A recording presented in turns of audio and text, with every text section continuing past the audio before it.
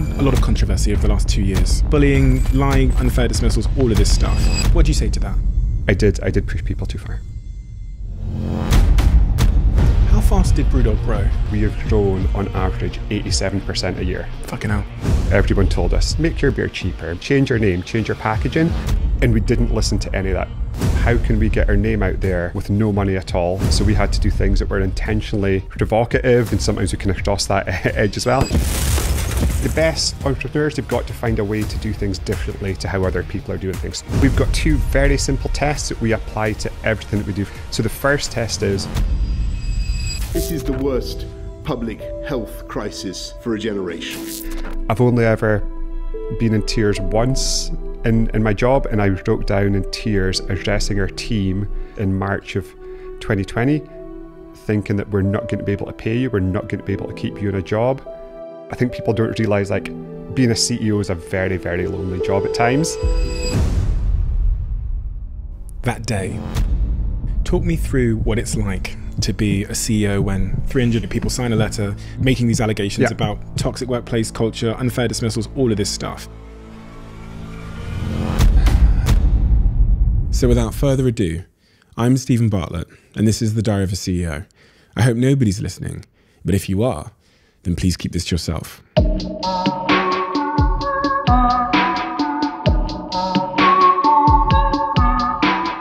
James, what is the you've listened to this podcast before so you know i have a theme of where i start.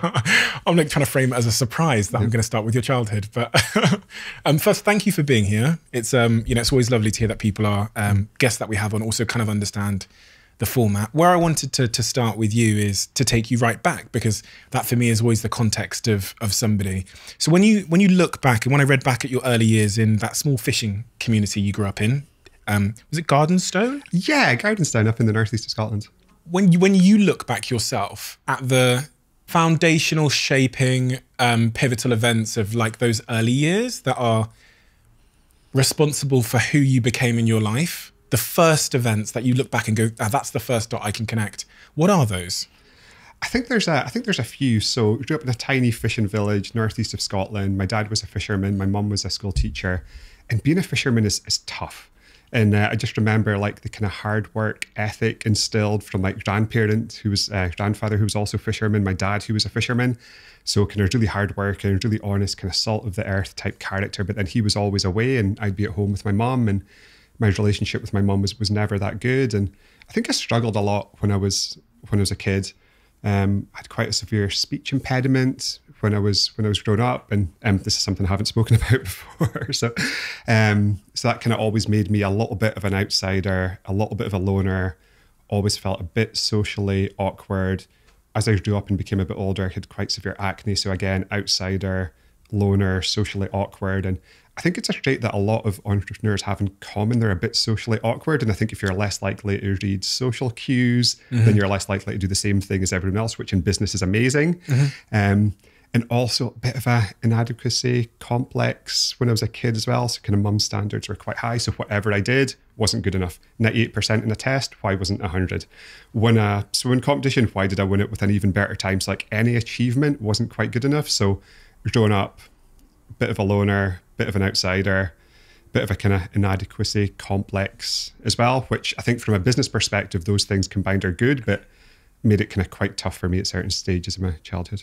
on that point of i can relate a lot a lot to a lot of that um, especially the the the thought of feeling a bit like an outsider or feeling somewhat different were you bullied in school A little bit. I mean, the speech impediment was something that all the kids loved to make make fun of, and then the kind of acne that I had that was quite severe in high school was something that a lot of kids made fun of as well, which just kind of makes you feel even more like an outsider when you're growing up, I guess. Speech impediment Yeah, when I was like four, five, six, seven, eight, there was like certain words and certain letters that I just couldn't say, and I kind of worked really hard with a speech therapist and got there. But for a few years, it was uh, a lot of words I couldn't say, and because of that, I just wouldn't speak to people because I was scared to let them see that I had a speech impediment. So very quiet, very insular, like spending time by myself, and that kind of shaped a lot of my early childhood. I would say. when you said that you, you think entrepreneurs have that trait in common where they somewhat feel like outsiders why do you think that's a common trait in entrepreneurs for me, the best entrepreneurs, they've got to see things differently and they've got to find a way to do things differently to how other people are doing things. So if you go and do the same as everyone else, you're just going to get the same outcome as everyone else. And if you start off a business that way, you're just going to get lost in the mix. And I think 90% of small businesses fail within the first two years. So I think outsized returns or doing something amazing with a business only comes when you bet in some way against the conventional wisdom. Mm-hmm. And if you're not tied to the conventional wisdom or tied to social cues, I think you're more likely to see that. Mm-hmm. Uh, there's a quote that I love, which is if uh, 99% of people think you are wrong, you're either massively mistaken or about to make history. So it's just mm-hmm. that maybe not caring too much what people think and mm. finding your own way to do things and finding your own way to come at a business, an opportunity, or a problem. And I think if you're a bit of an outsider, it maybe helps with that. Mm-hmm. You, you mentioned your mum as well. Yeah, I mean, my relationship with my mum was was always quite tough. So nothing nothing was ever good enough for for mum when I was a kid, and had a few issues later. And I, I haven't spoke to my mum for over twenty years now. Really? Yeah. Since you were in your teens? Yeah, 19, 20 was when when I stopped speaking to mum. Did you ever? Because sometimes when I think about you know my own parents, I with with age I've built a bit of um, I guess empathy towards why they are the way they are. You know, and you kind of when you grow a little bit older, you understand the world a bit better in psychology. But you go, well, maybe that's why they were the way they are. Have you thought about that with your mother? Yeah, I, def- I definitely have thought about it, and uh, it's something I continue to think about. And there was just a lot of kind of challenging things when I was a kid, and then when I was in my teens, that I think it made it difficult for us to have a relationship. And for me, it's it's easier just not to not to have contact with her, which which is tough. But I've got a fantastic relationship with my dad and my rest of the family, and it's, it's been that way for a long time now. Did that have an impact on you? That that sort of really tough feedback that you could you were never enough, or that your work was never enough. Possibly, but I think it just I think it gives you a bit of a inadequacy, inferiority complex, which I think has kind of been with me for for a long time. And there's ways to to numb it. So can numb it, can numb that voice in my head that's like, never been good enough, not good enough. Can numb it with a business achievement, with like doing a thing, with a book launch that goes well. So you get that almost temporary escape from that feeling by doing something that can be measured objectively, like succeeding in business. Use the word temporary though, because I, I, do because it's because it's all it's always there. It's it's always there, and I think a chip in your shoulder in terms of like motivation is is quite a powerful thing to have. But it's that kind of saying, it's like everywhere you go, there you are. It's kind of always, always there at a certain extent. Your dad, your, he he he sounds like he was a very um, hardworking individual. He, he, he was indeed. I mean, still to this day, he's in his late sixties. He's a lobster fisherman, which is a kind of tough, intense. I've seen the gnarly job every single day, regardless of the weather in the North Atlantic. He's out, pretty much out in his lobster fishing boat. So yeah, very focused on work and, and that work ethic, that determination. I think a bit of kind of resilience as well. So I spent actually six years with my dad on the North Atlantic before I set up the business. So I studied law and economics at university.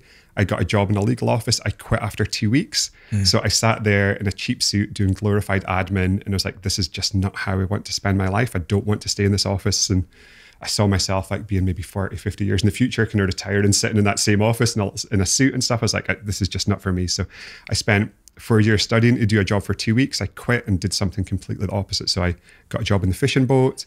And when I was doing that, I went to nautical college part time. I became a first mate. I became a qualified captain. And I kind of cut my teeth in the high seas in the North Atlantic. And I think it taught me so much about resilience, about teamwork, about adversity, what did you What did you What did you learn then? Sort of it practically and actionably. What did you learn from? Was it five years roughly you spent on that yeah, boat? Yeah. So you come out of university, you try it out as a lawyer, for, uh, you know, working in laws for two, yeah. for two weeks. Yeah. Then you go and join your dad. Yeah.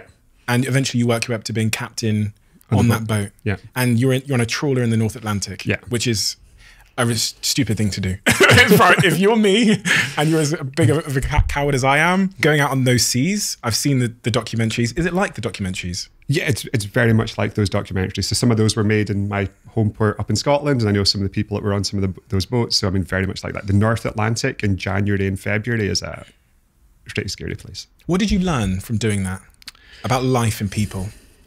I think the main lesson that I learned is and it's one I've applied to the business as well. You only really see what someone's made of when things are difficult.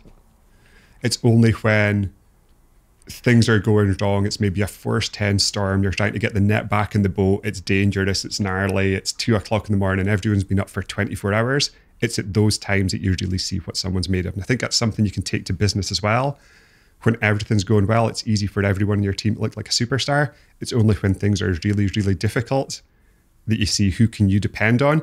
And I've almost got this test that I use when I'm building my management team and we've got an amazing management team at the moment. But the test is would I want to be in the deck of a North Atlantic fishing boat at two in the morning in a storm with everything going wrong with this person by my side? Mm-hmm. And if the answer is yes, it's uh, usually kind of bodes well for how we work together and how we look to build build the business together. And on the, in that example of would I want to be on this on the deck with them at two a.m. in the morning when everything's going wrong? What are the character traits which would make someone in that situation a good person to be with on that deck? Yeah, there's something called the Stockdale paradox that I think is is really important and kind of ties into this. So um, James Stockdale was um, an American naval captain who was in a prisoner of war camp for six years, and uh, it's actually in the book Good to Great by Jim Collins, which is a fantastic business book. And he's got a philosophy which is you've got to confront the brutal facts of your current reality without ever losing faith that you're going to prevail in the end. And I think it's just such an important lesson for life and business. You've got to believe that you're going to get there in the end, but that belief can't blind you from tackling the most difficult things about your current reality head on mm. with resolve, with optimism but you've got to kind of hold that paradox in your in your hand. We're going to get there. We're going to achieve this thing, but we've got these huge challenges at the moment. Let's lean into those challenges. And I often start my business meetings with my senior team in the very same way. Okay, let's put the agenda to the side. Let's everyone write down a piece of paper. What's the three most difficult things you're facing in this business at the moment? And let's discuss those before we discuss anything else. And why is that important? Because it means you face into the problems and the challenges. And I think it's so easy for a business, especially a business like ours. We've always got so many exciting projects. So at the moment, we're opening a fantastic location on the strip in Las Vegas. I've we're opening um, 20 plus locations in India. We've got a fantastic location opening in Waterloo Station. So it's so easy to get caught up in the excitement of those things. And everyone wants to speak about the exciting things, but you've got to balance that with okay, we've got these challenges at the moment, and how we lean into those challenges, how we tackle those challenges is what to a large extent is going to determine our destiny. So we need to make sure that whilst we're focused on the exciting things and what we want to achieve, we're focusing on the really tough things we're facing on a day-to-day basis as well. Interesting. I might steal that. well, I, I, stole it as well. So, okay, yeah. so can steal the thing that, that I stole. Did I say that out loud? I thought I was thinking it. Um, no, so uh, yeah, so I um, you're right because there's always kind of an elephant in the room at companies where uh, many individuals in the room will know that there's certain challenges and issues, especially in the leadership team. They'll have the, the clearest idea of what those are, but sometimes they're quite uncomfortable to talk about, right? They are the things that are least enjoyable to, to commit brain time and power and resources to. So I guess that's a, a very smart way. You you spent so you spent five years on this boat, yeah. which was a really great, you know, brave thing to do in my in my um, estimation. You're captain of the boat. Yeah, I spent a better time in captain the boat with my captaining dad. the boat. Why, why did you leave that that role? Well, I didn't. I didn't quite leave it. So um, Martin, who's my best friend from from high school, we go way back. We're Dickie. flatmates. Yeah, Martin Dickie. We're flatmates at university together. We started making beers at home. Um, so in Martin's mum's garage, we would make beer, and we started to get into beer when we tasted an American beer called Sierra Nevada Pale Ale we tasted it. It was like, wow, we love this. So we would dedicate our weekends to kind of trying to recreate that in Martin's mum's garage. And in 2007, we'd always wanted to start a business. We decided to turn our hobby into a job. So we we got a twenty thousand pound bank loan. I had thirty thousand pounds of life savings, and we decided to set up this business. We set up in a derelict dystopian industrial unit in Fraserburgh in a godforsaken industrial estate, and we, we had no money. So it was beg, barter, bootleg to kind of set this facility up. We had like old dairy tanks. Our water tanks were plastic tanks from a local garden centre because we had no money to buy stainless steel tanks. And we set, set out in this slightly naive, I think you could call it mission, to build one of the world's best beer companies with, uh, with two humans and a dog, no experience, no capital, no business plan, nothing but just a huge amount of passion for fantastic beer, a huge amount of disillusionment at the status quo of the beer market, which was essentially just big mass market global mega corporations who turned beer, a thing that we love, in a lowest common denominator commodity, uh, commodity product. And we wanted to make fantastic quality beers and opens open people's eyes to this diverse spectrum of flavor, taste, quality that they never knew existed, and take them on this bearded journey with us. And that's what we set out to do in, in 2007. But the first the first few years were were so so tough. What gave you the right to start a beer company? Nothing at all. Yeah, you can't make. Like, I, I can't make beer. how, how did you go about educating yourself on how to make beer? So Martin studied how to make beer and distilling at university. So Martin's ah. a really kind of solid technical background, and he's always kind of taken more of a lead in the beer side of the business, and I've always kind of been more in the kind of business side, the sales side, the marketing side, the expansion side of the business. Mm-hmm. So yeah, first couple of years it was me selling beer at local farmers markets. Um, selling beer out of the boot of my beat up Volkswagen Golf, but we couldn't afford to pay ourselves. So I moved back in with my dad. Martin moved back in with his mum. I had to start working in the fishing boat again part time just because nobody wanted to buy our beer. Everyone told us, make your beer cheaper, make your beer with less flavor, make your beer with less hops, change your name, change your packaging. And we didn't listen to any of that. I mean, we were determined to, okay, if we're going to fail, let's fail doing something that we love. Let's fail doing something that we're insanely passionate about. And let's just keep going and see if we can find a way, find our breakthrough to somehow make that work. And that breakthrough for us came in 2008. And you you described that period as being one of the toughest of your life. That first year. Give give me a, a, a, a detailed flavour of the, the hardest. Is there a moment in that period where you, you account maybe your hardest day? I think so. Yeah. So we did everything the two of us. So it was just the two of us. So we did the accounts, we did the sales, we made the beer, we packaged the beer, like the whole thing and we filled bottles by hand. So fill by hand, put on a cap by hand, put on a label by hand. The tanks held about three and a half thousand bottles of beer. So that took us kind of 20 hours to do. So we, we did that. And then straight through the night, the next day I was kind of, okay, let's let's go and see if I can sell some of this beer. So I had a few cases in the back of my car. Punk IPA, which is our flagship beer today, was was the beer that we were trying to sell back then as well. I visited six or seven different local establishments and gave them my best sales pitch. It's handmade, it's local, it's full of flavor everyone said no. The last person um, didn't just say no, he tasted it and he just spat it back into the bottle. Really? and just gave me the bottle back and essentially told me to get out. So I remember just walking to the car and just wondering, okay, what the hell am I going to tell the bank? We've got this loan. We can't pay the loan back. We can't pay the rent in the building. I've been up for almost 30 hours. This is going nowhere. Like, what can we do to try and get this business to survive? And for me, that was a, that was a very tough moment. Why didn't you quit? Would have been easier. Could have just gone back to the boat. Could have been captain, back out on the sea, lobsters, all that. There was no way we were going to quit. Why? We were going to uh, we were going to die in a ditch for this thing. It's we're just so passionate about it, and back to that inadequacy complex. This voice in your head: you're not good enough. You can't do it. If I quit, that voice wins. Couldn't let that voice win, so we we kept on going. We kept on going, and I think any business story there's a moment where you get a bit of luck, where you get a bit of good fortune. So for us, that came in 2008. We sent some beers into a Tesco beer competition. So this was at a time that we were selling, let's say, 10 cases a week at, at most.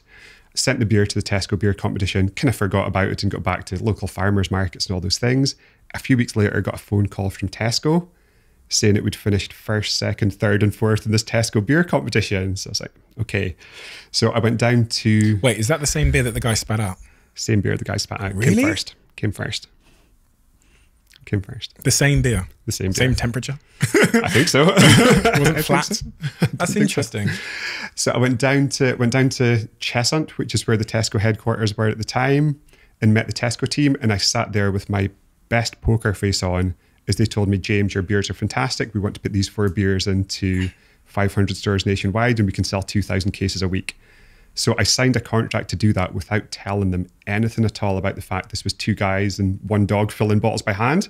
And there was no way we could there was no way we could meet that order. So we had four months to figure out a way to do this. So got back, sat down with Martin, and was like, okay, we've got this opportunity, but we need a plan.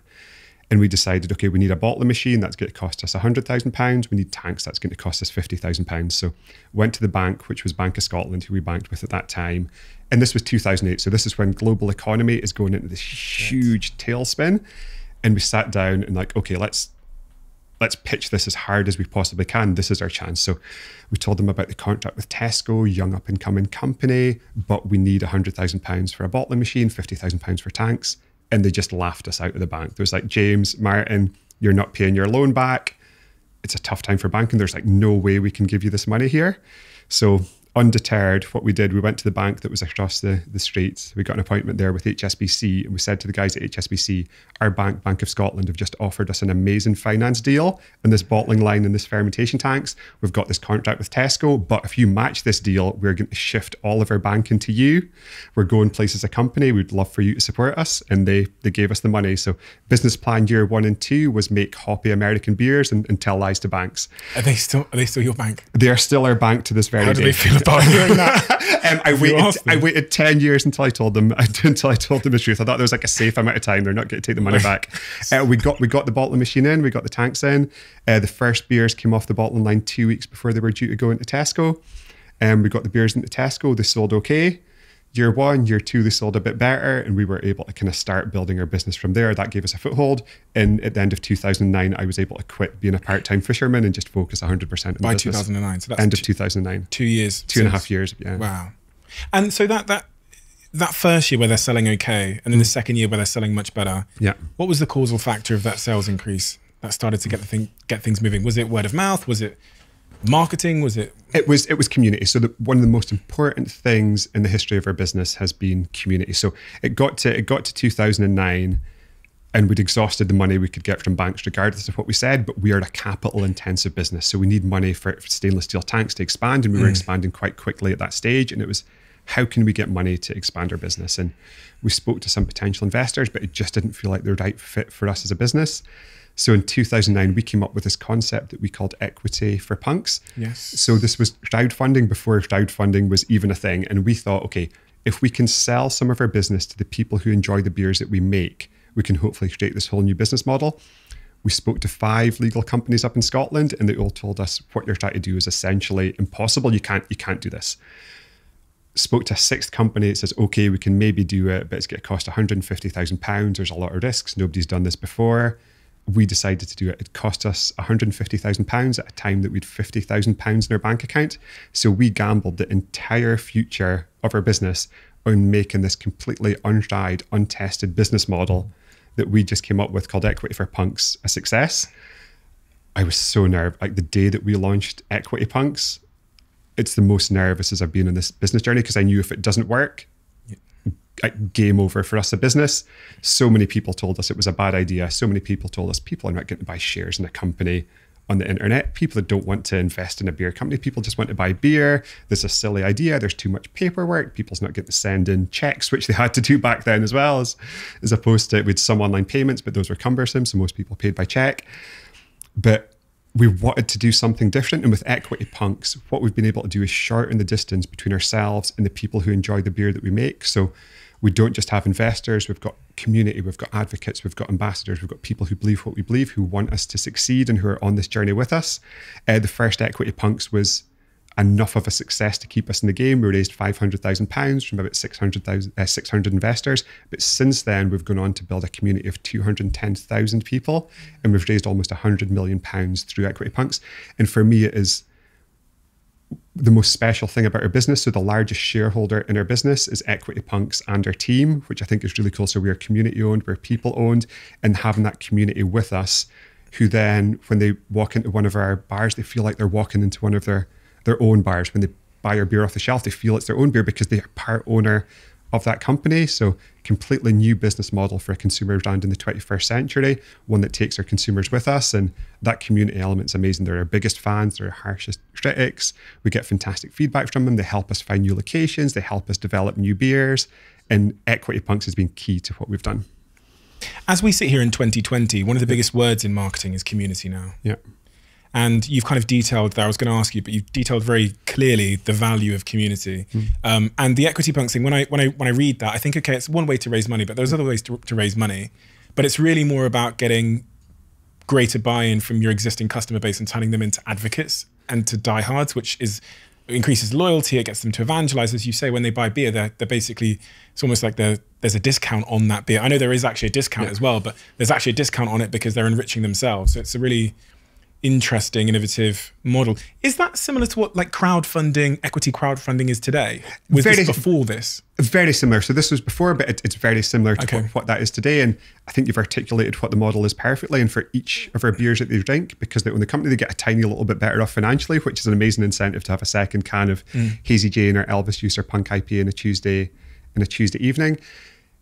And it's never just been about the money because we could have raised money in other ways, but it's about building a different type of business and a business that's focused on community. And we do so much with our community. And we have our big AGM in Aberdeen, our annual meeting. yeah, Um, last time we had 15,000 equity punks come for our annual meeting. So I think it's like the most attended Big AGM in the, in the UK. Yeah. So we, we do the business things, but we've got fantastic live music. We've got amazing beers. And uh, it's just the day where kind of everything that we love and believe in just comes together in one day. And it's always fantastic. On money raising, did you you the, the BBC released a podcast you might Yeah. have seen yesterday, like a podcast and the you know I've, I know you've had a sort of contentious relationship with them. One of the things that they they leveled at you, which I wanted you to, to respond on, was in those hard times. They said your dad is wealthy. Yeah. Yeah. So they said there was a, a a suggestion that your dad might have been loaning you money. Yeah. Um, so my dad, my dad is wealthy-ish, not excessively wealthy, and not nearly as wealthy as the BBC said. And the only support my dad ever gave the business was there was a period where one of the banks wanted to withdraw a loan, and he secured that loan for us for six months until we got it moved over to HSBC. So we were kind of very determined to do the whole thing ourselves. So the only support was ever the short-term security on a loan until we moved it. quick one. We bring in eight people a month to watch these conversations live here in the studio when we're here in the UK and when we're in LA. If you want to be one of those people, all you've got to do is hit subscribe. And then like going going to your your marketing thesis because this is really what's defined um, Brewdog in the eye of the consumer. In the eye of someone like me that doesn't honestly drink beer, but knows about the brand and considers that it to be a famous brand and watched it on LinkedIn and social media over the years build its sort of acclaim.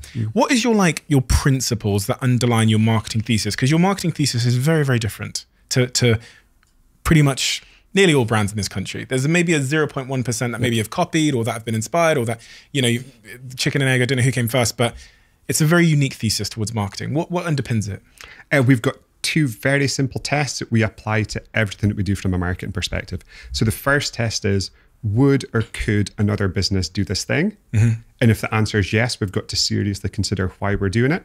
The second test is if I spend a pound on this, is it going to give me a 10x return compared to how a competitor would spend that pound? So we are in an industry dominated by global behemoths of businesses who are hundreds of times our size, and we are we're closing that gap and we want to close that gap, but we only close that gap by making our market and our communications, everything we do works so much more effectively than theirs. If our marketing is only as effective as theirs, we don't close that gap and we lose. So the two tests are could or would another company do this? And is it going to give me a 10x return versus how my competitor would spend that money? And if I'm thinking about how to get a drive a better return on marketing, you know, and then I think about what you've done, I see, well, we've got to be probably bolder to win share of voice. We've got to try and win headlines in more extreme ways because nobody's going to be writing about you for eh, for the fun of it. If you're a smaller sort of challenger challenger brand, then the second thing I, th- I think is kind of we've got to do that on new platforms. We can't fight out on TV or in newspapers because those are where you kind of throw huge amounts of money and you get eh, return. So new platforms and new approaches, and that's very much kind of signifies what I've seen from BrewDog. Very, very bold. Very bold and intentionally bold, and, especially bold in our early years when we had no budget whatsoever. So the challenge was how can we get our name out there with no money at all? So we mm. had to do things that were intentionally provocative, that were on the edge, and sometimes we can cross that edge as well. But that enabled us to get our name, our message, our business out there with no budget at all. So we have driven a tank through the streets of London. We've thrown taxidermy cats out of a helicopter over the Bank of England. We've put Vladimir Putin in the front of a beer label. So we've done a lot of things, low budget, high impact, but we've tried to make it that everything we do ties back and is underpinned by what we're passionate about. So does so there has to be a connection there. So does this reinforce what we believe in, what we're trying to do as a company? Because otherwise it's just hollow and it's fake and it's false. So how does this reinforce the kind of core beliefs that drive this business? Which is trying to build an alternative business and a huge passion for fantastic beer. One of the, the more extreme things, I saw the Vladimir Yeah. thing. Uh, what else have I seen? I, I think, to be fair, I think I've seen it all because I'm, I'm obviously a marketeer, so and running a marketing company and tr- seeking inspiration from lots of different brands and seeing what they're doing and the impact it's having, especially on social media, which is my my battleground. Um, the, the the thing I read about more recently was that you you put in a complaint about your own beer, which triggered press. We did. So this was uh, all the way back in 2008, and we had a few running battles with a few bigger players. One of them was the Portman Group. So the Portman Group was an industry, still is an industry regulator, and for me, it is a thinly veiled cartel funded by the big drinks businesses who've got a vested interest in making sure that small businesses are not su- successful. And there was a few rulings at the put out that were just so so silly and frivolous that we wanted to make a statement. So we complained about one of our own beers to make a meta statement about how silly the process is and how essentially corrupt it was as an organization funded by the big beer companies, big drinks businesses who've got a vested interest in making sure the small ones are not successful. How, do- how does that work? So you make a beer that is really high in AVB. Is that was that the correct term? It was, yes. So we made a beer. We made a beer called Tokyo, eighteen percent. Now, if you looked at the newspaper headlines in the UK when we launched that beer, you would have thought that I was single-handedly responsible for the downfall of Western civilization by making an eighteen percent beer. We had uh, in the Sun binge drinking, blame this man with like a cut out of my head in a bottle of Tokyo. That took a bit of a explaining to my very religious grandmother, but that's another story. But everything we did with that beer was we just made a thousand bottles. It was very expensive. It was for connoisseurs. It was for aficionados, and we want to elevate the status of beer. And I think the more someone can understand and appreciate something, the less likely they are to abuse it. And we make expensive products for people who love love fantastic beer. So it was to kind of make a statement of you've got all these big companies doing very cheap alcohol that's likely to be abused trying to ban products of this company that's looking to elevate the status, increase education awareness around beer, and lead people to appreciate and enjoy beer in a more elevated way. And when you see yourself in the sun with a cardboard cut out of your face, is that kind of swings and roundabouts? Is that good f- in, from a marketing perspective? Is that a good outcome? Because you were trying to get headline. You complained about your own beer. Yeah. You were trying to get headlines. So is that job done? I think in that one, to a certain extent, it was it was job done, and to kind of show you how odd things were back back then. So this was kind of 2009, 2010 when we were starting to get momentum, and the beer scene was starting to change. So the big companies had it their own way for way too long, and things were starting to change. There was a award ceremony in Scotland in 2010, um, put together by the BII, the British Innkeepers Institute. And we got a heads up before the award ceremony. Hey guys, you're going to win the award for Scottish Bar Operator of the Year. So you guys better come to the come to the award ceremony. So we went there, we booked a table. They were just about to announce it. I was like halfway up to the stage to, to get the award, and they announced a different company. I was like, okay. But then the other company didn't want to take the award because our name was engraved in the trophy. It's like, well, we don't want it. So the next day I spoke to the person that organized the award ceremony. I was like, what what happened? Like, you told us we were going to win. And he was like, well, Diageo, one of the world's biggest drinks companies, they were the main sponsor. They told me five minutes before we were due to give it to you, if they gave it to you guys, they was going to pull all future sponsorship. You're joking. So we felt we didn't have an option. So we put this online. It blew up. It was trending on Twitter globally that day. Diageo issued us a formal apology about the whole thing. Um, that apology was in kind of broadcast news, but it just showed back then how the dynamic in the beer industry was changing and how the big beer companies and big drinks companies were acting towards that change, of which the Portman Group was one manifestation of it. Did you take that personally? I took that as a sign that we're doing the right thing. So I think unless other businesses are copying you or trying to knock you, then you're not doing well enough. So unless you're doing something that's worthy of people copying it, and like a lot of people moan, oh, I'm being copied. It's like unless you're being copied, you need to up your game and you need to do better. Unless your competitors are trying to knock you down, you're not enough enough of a threat to your competition. So I took that as a sign that we're on the right track. We're doing the right thing. Let's keep going. The the other um, extreme marketing thing that I saw, which was um, when I first read it, I thought this is fucking hilarious. Is the Elvis estate tried to copyright uh, infringe you for calling your your US beer, which I think is your most popular US beer, It is Elvis juice. Elvis juice. Yeah. They sent you a copyright uh, statement, just Yeah. sort of like a basically a notice that you've, you're violating the copyright, yes. And you responded with some Elvis uh, rhyme. we did. and and on the on the art on the LinkedIn post that I saw, it said you changed your name to Elvis. Yeah. Then the BBC come out and say that didn't happen. Yeah. What is the truth in this one? What did you change your name to Elvis? Yeah, we did. And just to go kind of back in the story, so Elvis sent, um, not Elvis himself, um, Elvis's estate sent us a letter saying we couldn't use the name Elvis in a beer. And if we did, we had to pay them a license fee for every can, case, and bottle of beer that we sold. So, what myself and Martin did, we changed our names to Elvis and we sent them a letter back saying that they couldn't use our name on their music and they had to pay us a license fee for every time they played one of uh, one of Elvis's songs. Um, got a huge amount of publicity at the time. We were both Elvis for a few weeks. Um, then we changed our names back. So the BBC attacked us on that, as they as they have on many things. However, the BBC misunderstood the Scottish procedure for changing a name. So they said we didn't change your name by deed poll. That's not a Scottish thing. In Scotland, you need an official declaration to change your name, which we did. So What's that? Just signing a piece of paper? you sign an official declaration piece of paper, and that counts as a name change in Scotland. And you don't even have to send it to anybody. Don't have to send it to anyone in fucking nuts. Scotland. So we met the Scottish requirements, which is what we said we did. But yeah, my grandmother was very unhappy, and she insisted I change my name back to back to James. Brewdog's marketing has been so bold and it's Yeah. been so standout. And in terms of how hard you've, in terms of the re- the return on every dollar you've spent, it's it seems to have been a pretty astounding return per dollar spent because you've done these like big viral activations. A lot of them are like pa- um, uh, parodies or they're like taking the piss out of big corporations or they're sticking it to the man in various ways or going at the you know the incumbents in the industry. Some of them though that they they the even the example you gave there of they're complaining about your own beer With the Portman group. Yeah. Yeah. Obviously the complaint wasn't real Yeah. because it was you. Because it was me. What is the line between between like truth in when you're doing these stunts and virality and uh, untruth for you? And where where do you play? Are you willing to to do something that is from a marketing perspective that is not necessarily true, like complain about your own beer, if you believe it will help reach the outcome, which is to stick it to the Portman Group?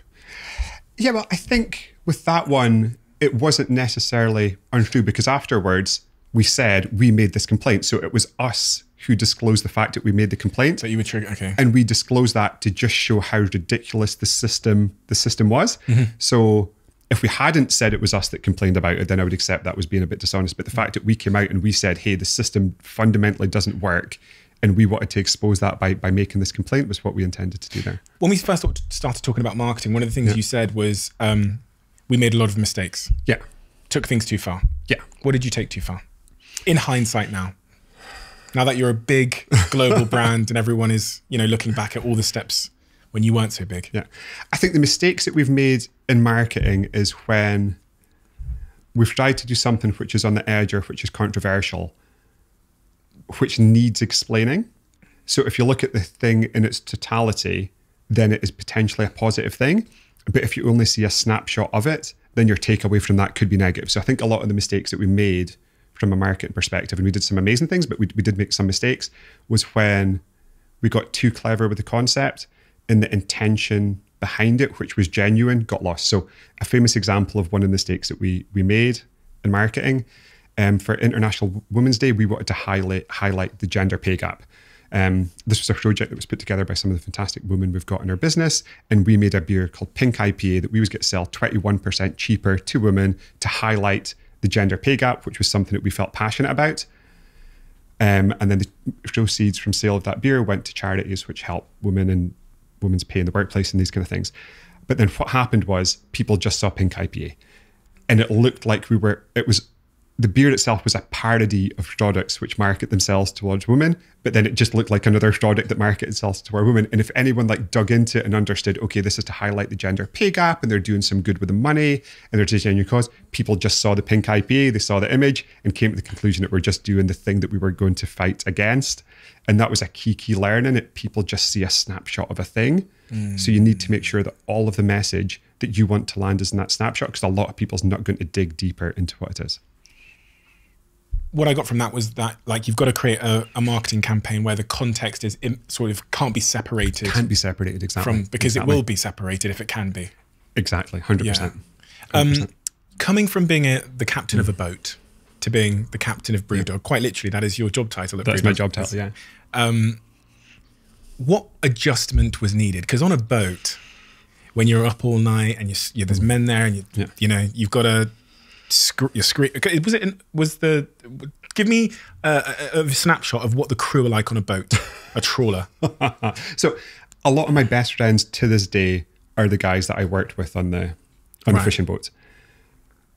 But these are an unusual and interesting set of characters as well. It takes a certain type of person to kind of do that type of do that type of work and do that type of work on an ongoing basis. And I mean they're they're they're hardworking, like to have like to have fun, like to mess about a little bit, but mm-hmm. all all about the kind of all about the hard work and especially when things get difficult, like seeing a good crew and a fishing boat come together and work hard to get them kind of through a tough time together was kind of really inspiring when it came to like business and leadership kind of later down the line. I can see you being a very good captain on a boat. You, you and I just generally you're you in the couple of moments. You know, I mm. didn't know you before you'd walked in the door, but in the couple of moments that I've been with you, you're very focused.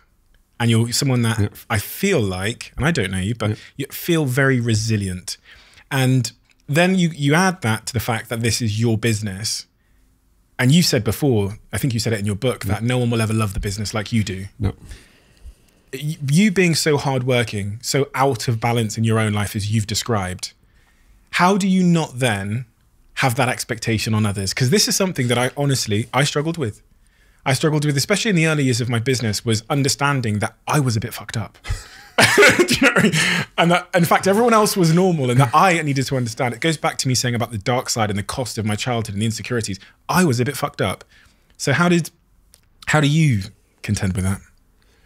For the first 10 years of the business, I would say I contended with that very, very badly. So there's like a lot of intensity, there's a lot of drive, there's a lot of determination, there's a lot of passion there. And understanding how to lead people, how to take people with me on that journey has definitely evolved over time. And I'm now CEO of a business that's got 3,000 people.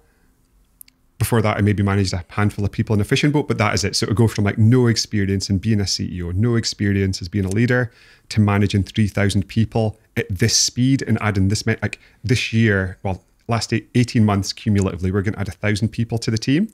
So it's like a thousand amazing, well-paying jobs in a recession, which our country, which our economy needs. So we're expanding all the time. But just how steep that learning curve is to go from not managing anyone to managing 3,000 people with all the kind of stresses and strains of growing a business. And I think if I look back and reflect a little bit, we've definitely had challenges and well documented challenges along the way.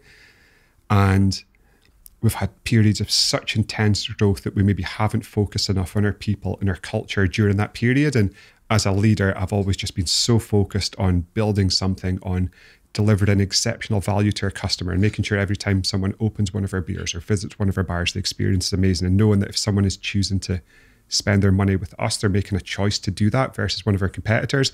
Therefore, we need to set the bar incredibly high and push incredibly hard. And as a leader, because of that drive, because of that determination, because of that focus, I've definitely pushed some of the team members too far in the past, and I think that's been that's been well documented. But that came from a place of doing this because we want to build something amazing, and it took a bit of time to understand that okay, they're as amazing as their team are, they don't have the same level of investment in the business as, as I do. Right, Some of them want to push it that hard, some of them just don't. And for a while, there was just like, I'm going to run through this wall, and I want everyone else to run through the wall as well. Not everyone's going to run through that wall. And again, a, a big lesson, and I've kind of reflected a lot in leadership in the last 12 months, is to take people with you, you've got to make them understand the why behind what you're doing. And my kind of first decade of a leader was like, we're doing this, this is what we're going to do, let's go. And what I've kind of found more recently is like, if people understand, okay, we're doing this, but this is why, this is what it means for you, this is what it means for the business, this is why it's a fantastic thing, this is why it's going to help us achieve objectives where everyone's going to win together.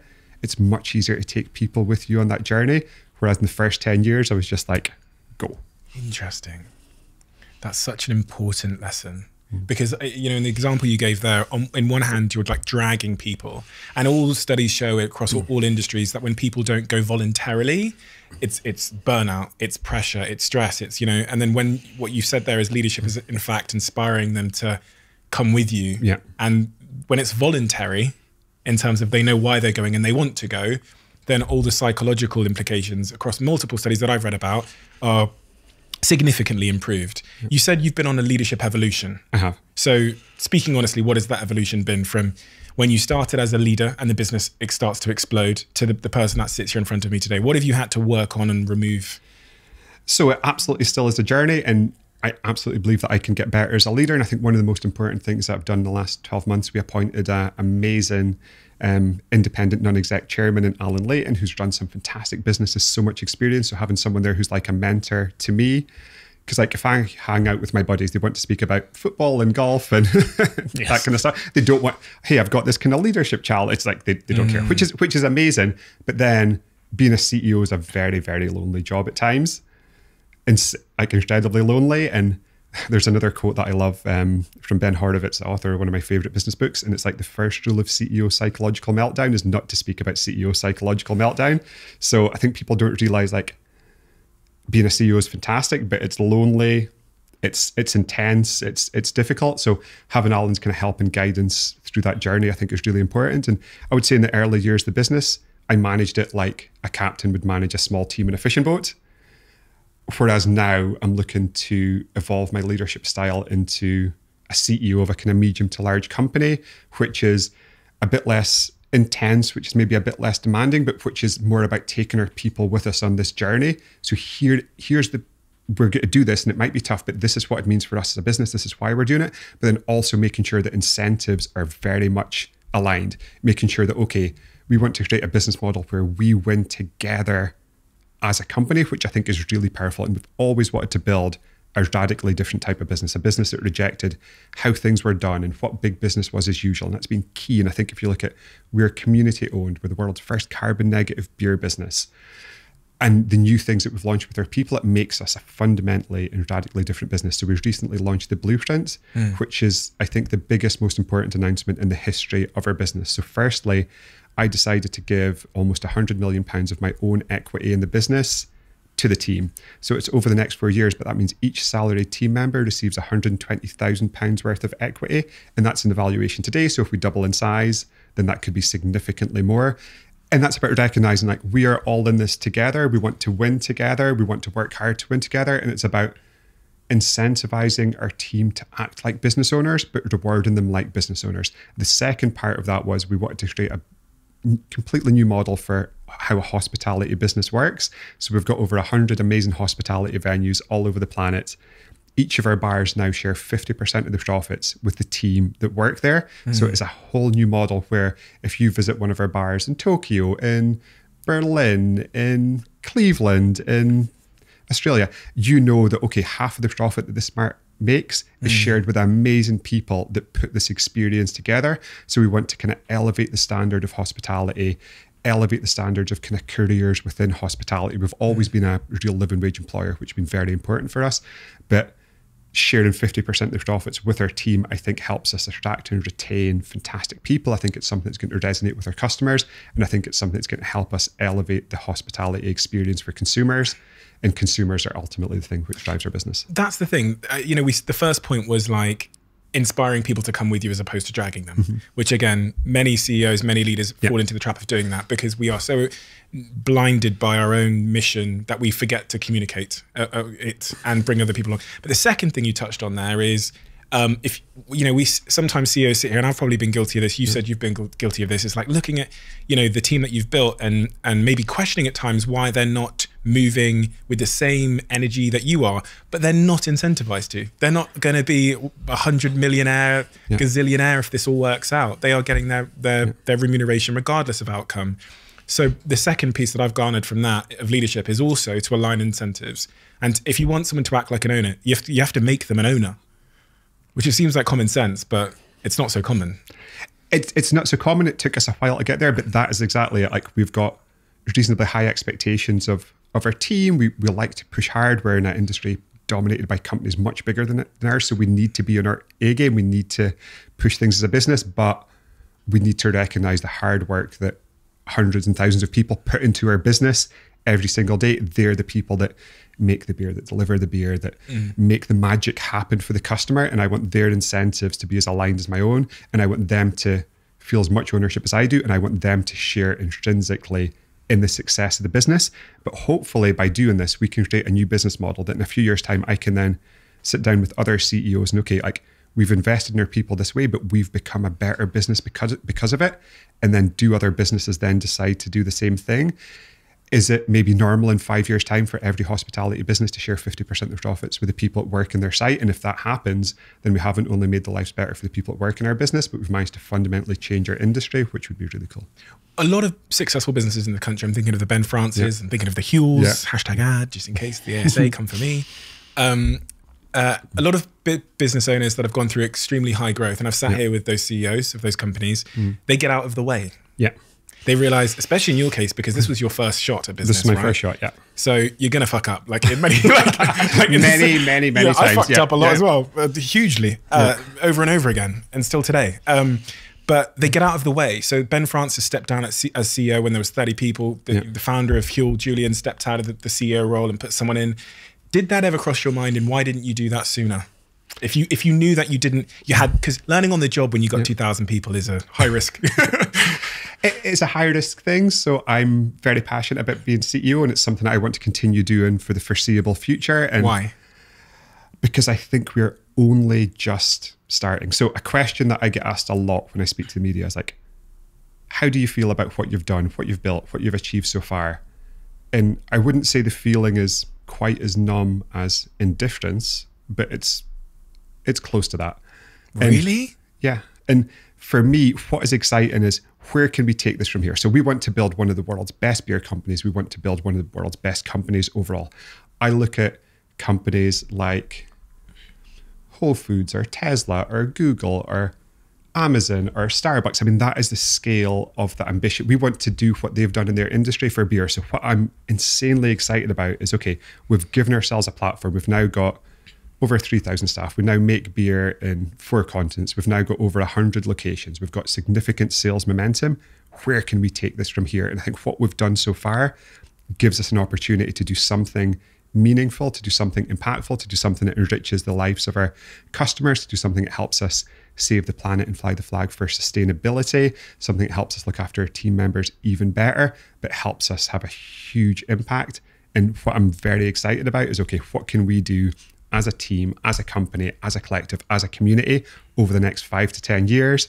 That's what I'm focused on. That's why I get out of bed in the morning. And that's what I'm really excited to continue doing with the fantastic management team and team that we've got in the business. I was startled when you said it indifference. You, you, you genuinely, the way that you feel about what you've achieved so far is quite close to indifference, kind of just numb or like just meh. Honestly, It's, it's, cl- it's close to indifference. So we've done some fantastic things, but overall, we're still relatively small in the overall scheme of things. I'm like, in terms of like, if I spend like maybe 5% of my time thinking, okay, this is good, 95% of it's okay. In the next 12 months, we can open our fantastic site in Vegas. We can plant millions of trees in the Lost Forest in Scotland. We can reduce our carbon emissions. We can launch some fantastic new beers that our customers are going to love. We can open 50 new locations in India. We can continue investing in our people. We can make the profit share thing amazing. We can try and make sure that the equity that our people have in our team is as valuable as possible. We But can continue expanding our German business. Like biggest beer brewery, aren't you? 16th most valuable 16th. beer brand. Yeah. So in 2007, if I'd gone when you were doing, you know, you'd taken that 20k loan from the Yeah. bank, and I'd gone and seen you in Dickie, and I said, listen, couple of years time, you're going to be the 16th largest brewery in the world, and you're going to have thousands of staff all around the world and 111 locations, or whatever it is. You're going to be opening a thing in Vegas. You would have, and I said, how do you think you're going to feel on that day? What would you have said to me? Well, I think there's there's two answers to that question. So one answer is the answer that I would usually give to the media, which is like, if you go back to 2007 and now you've built this, could you have envisaged it? Could you have imagined it? And the answer that you've kind of got to give to the media, because anything else sounds too self-assured. Mm-hmm. No, I could never have imagined it. Mm-hmm. It's been amazing. But the answer that I don't usually share is, of course I imagined it, because if me and Martin didn't imagine it, how can we build it? How can we make it a real thing if it wasn't something we're kind of planning to do or planning to planning to build? So I think if you went back and asked me that question there, I would have been very excited about the journey and the joy of building something. But you, if I said, how would you feel today? so uh, in 2000, I'm speaking to Yeah. 2007 uh, James and, and Dickie. Okay.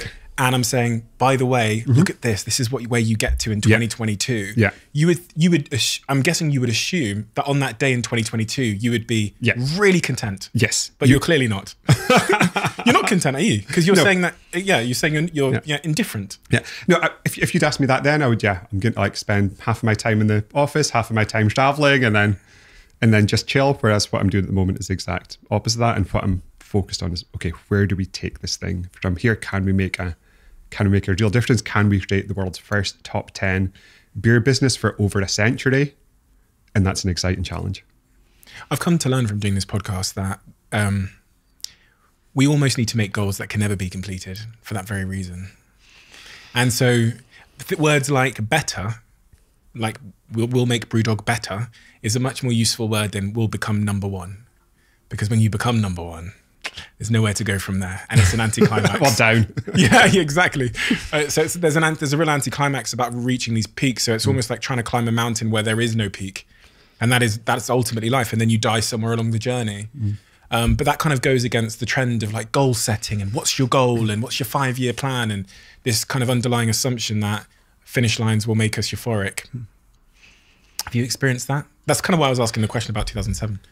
Yeah, well, I mean, I guess the closest thing we've had to a finish line is in 2017, we took a big investment in our company. The company was valued at just over a billion. So one of, one of my things was always like, let's see if you can build a unicorn. So unicorns are startup companies which get to be valued over a billion, called unicorns because they're so rare. There's so few of them that happen in, in the UK and especially in Scotland. And I always thought, okay, if there was ever something that would make me feel okay i've accomplished that thing i've done that thing i'm complete happy content it would be okay build a unicorn like that for me that was my win an oscar score, score a winning goal in a world cup final but like for me that was build a unicorn and then the next day i was just like okay let's let's go where do we go from here That was your first big sort of cash windfall, personally, because the money, some money went into the company, some money went to the founders, yes. shares. Yes. So that was your first big um, dealings with being a cash millionaire. Yes.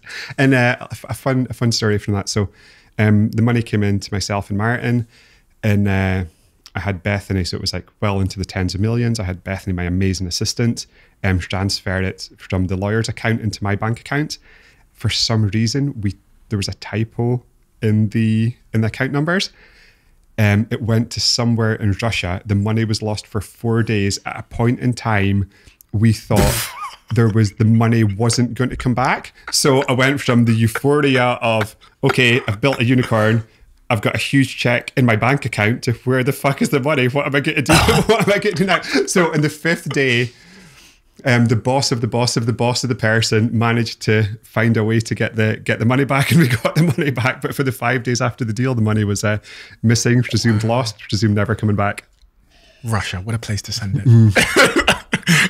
Yeah, the sort code sent it to a bank in St. Petersburg, and they were like, "Well, the bank might not even want to send it back." I was like, "Okay." Oh my God. so now, now double, triple check every sort code that I uh, that I send cash to. What was that day? What was that that like emotionally? That's that. That was what you were aiming for in many respects in terms of financial freedom. What was it like?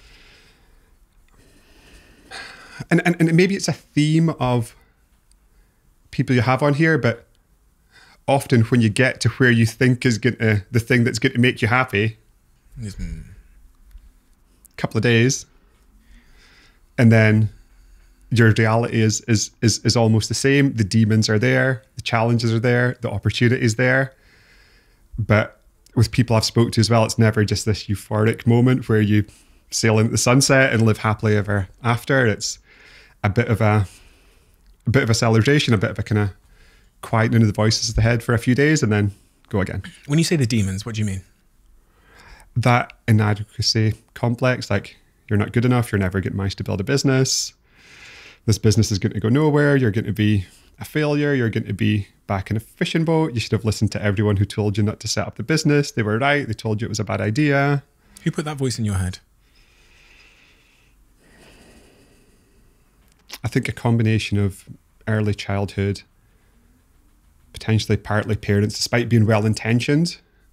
Um, there was a story from my childhood where I've been obsessed with sharks my entire life. So my favorite hobby is to go diving with sharks. It's like I'm happiest when I'm under the water with sharks. I recently went to Guadalupe Island off the coast of Mexico, dived with some great white sharks. So like being under the water with sharks is is my happy place. And when I was a kid, I would always tell people when they asked me what I want to be, I want to be a marine biologist. I want to study sharks. And when I was uh, eight or nine years old, my parents told me to go and get my shark book. I was like, wow, okay, they're finally interested in something that I love. So pajamas on just before bedtime, went to my bedroom, come through with the shark book. Mother opened up the shark book and uh, went through the four authors in the shark book and was like, James, look, this person PhD, this person PhD, this person PhD. They've all got PhDs. It's just not something you're going to be able to do. So you need to stop telling people you want to be a marine biologist. You need to stop telling people going to study sharks because you just won't manage to get a PhD. So you need to think of something else.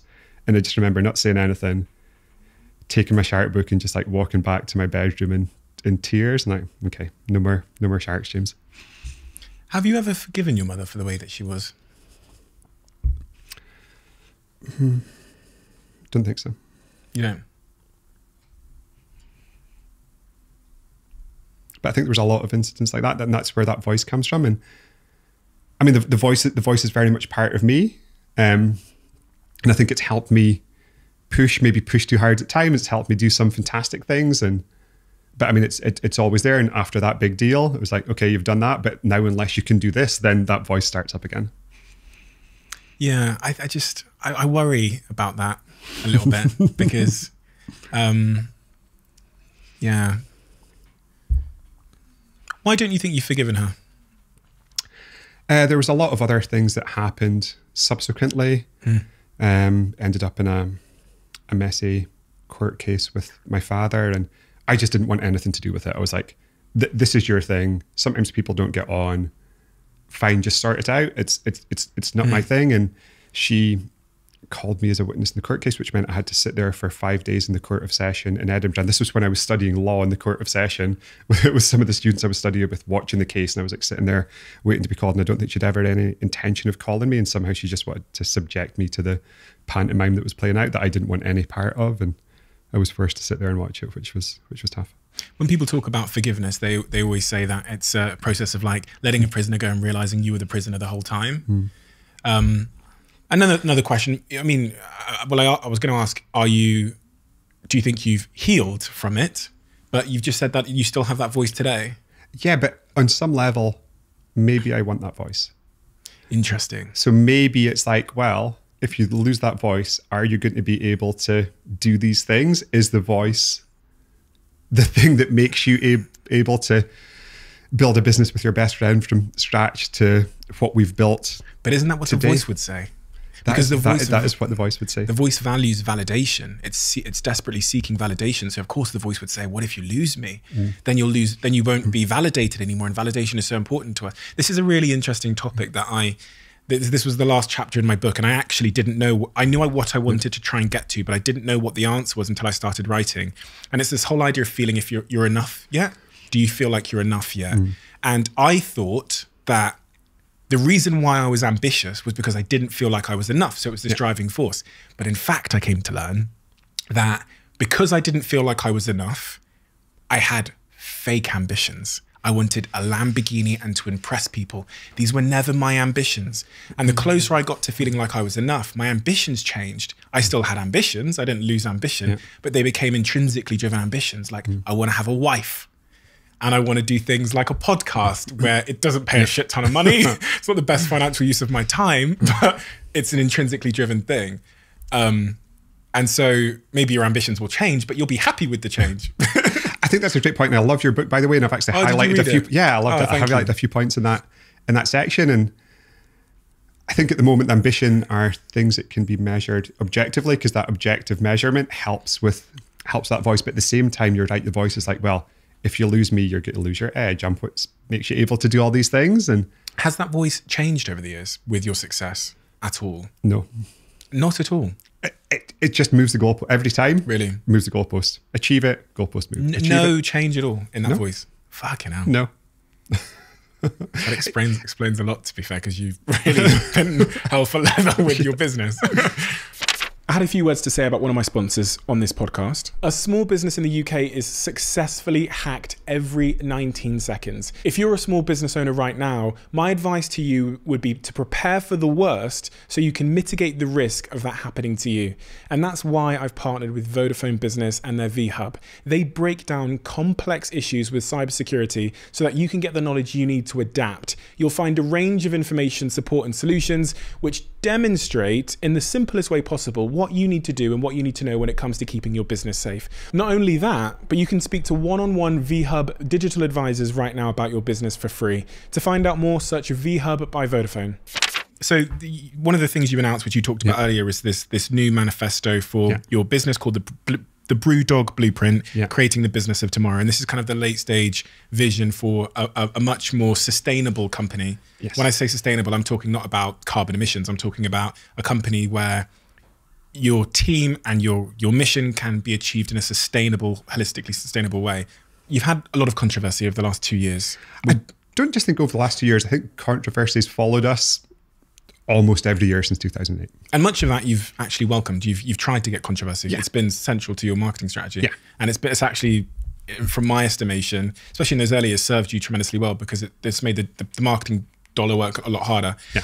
Um, the controversy in more recent years starts mm. with this Punks with Purpose letter that was mm. written. 300 of your ex-employees and yeah. some of your current employees at the time, and think in 2020 or 2021, uh, 2021, came out with these allegations of bullying, uh, lying, fear, toxic workplace culture, unfair dismissals, all of this stuff. Yeah. When people hear about the, the, the BrewDog blueprint, they might think it's a knee-jerk re- response to that.